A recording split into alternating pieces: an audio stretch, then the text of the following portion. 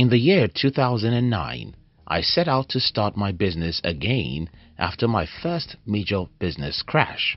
You know, I started out in July 2008 and I lost the little cash I had within a week. I started again and after a lot of struggles, I lost my business again in the first quarter of 2009. Now, I wanted to start all over again, but I had no money. I called a few friends and one of them gave me small amount of money which could only be my transport fare to my new destination. But there was a problem. I was going to a new town where I knew nobody and I hoped I could somehow get an apartment for myself and my business and also get the supplier to give me the raw materials I needed for my business. How is this going to be possible? Well, I was able to secure an apartment within 24 hours without paying a dollar for it and within few weeks I was able to secure the trust of one of the suppliers I needed for my products and within three months I got other suppliers too to trust me. How did I do all these without having money? Well, here's the thing. I was a trained seller. I started selling my mother's products when I was only about 8 years old and ever since then I have been fascinated by the concept of selling. Now, you may want to ask me what does selling have to do with getting other people to give you what you need? Even while you don't have money to pay them? Well, everything. If you can sell yourself, your product and your ideas, you can get other people to give you their physical, financial or emotional support.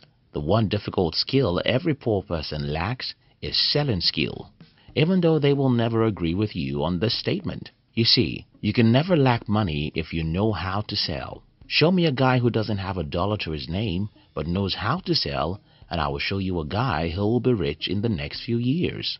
Another problem we have with the word selling is that whenever we hear that word, the first thing that comes to mind is the picture of a salesperson trying to sell a product or service. While that salesperson is selling a product or service we all sell every day, those who get ahead among us are those who know how to sell very well. Selling yourself. I have confessed to a few close friends in the past that I feel like wherever I go, Everyone finds it easy to trust me. And let me tell you the truth, I'm not faking anything. I'm just myself. But I am also a seller, which means I've learned how to get people to see the reason to support my vision.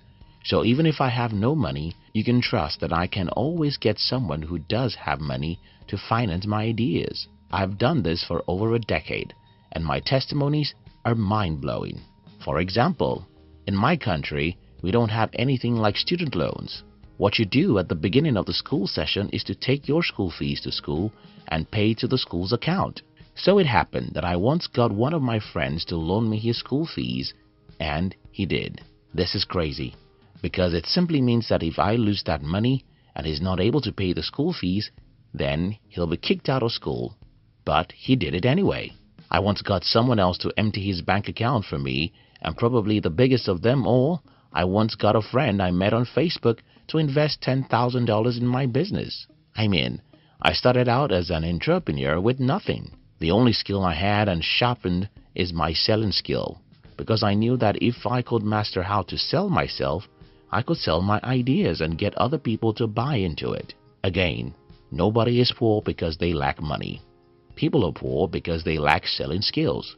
If you know how to sell yourself, you'll sell your ideas. People will make crazy sacrifices for you by dropping their hard-earned money at your feet, and you'll have resources you need to finance your ideas. If you lack motivation to sell, then you might have to join our motivational channel, Hunt TV, to get inspiration required to get you what you need from others. Join Hunt TV in the description box below. Why most people don't know how to sell. I claim the title of this video that selling skill is a difficult skill. But maybe that's not totally true. I think selling is like most skills. It's difficult if you've not mastered it. It's that simple. For instance, soccer is very difficult for me because I didn't even play it as a child. Music could be difficult for you, but not for Jay-Z. Entrepreneurship isn't difficult for me because I've invested probably 50,000 hours doing business, talking business and reading learning about business. Selling isn't difficult for most people because, first, society or school didn't teach you anything about how to sell. In fact, the term selling sounds manipulative, so you'd better don't do it. Another reason why selling is difficult is because everyone believes that if they are scientists, lawyers or medical doctors, they are not selling. It turns out that we are all selling. As long as you ever need another human being to do you a favor, you're a seller. So you better learn how to do it well. So, how can you be a great seller? I'll explain this to you by telling you my personal stories. My first attempt at selling was when my mother asked me to sell groundnuts at about age 8. I did sell groundnuts and that involved convincing people that my groundnut was good and fresh. At about 11, I joined a group in the church and I had to stand up often to try and convince everyone about the reasons why we shouldn't do something or why we should do something else. I later contested an election in another church organization which means that I had to convince people to vote for me. In my high school, I was opinionated. I always tried to get people to see something I'm seeing, and at age 15, I started my first major business. It was a bicycle renting business, and I had to get teenagers like myself to give me money. At age 16, I started photography business. And now, I had to deal not only with my customers, but also my photo producers.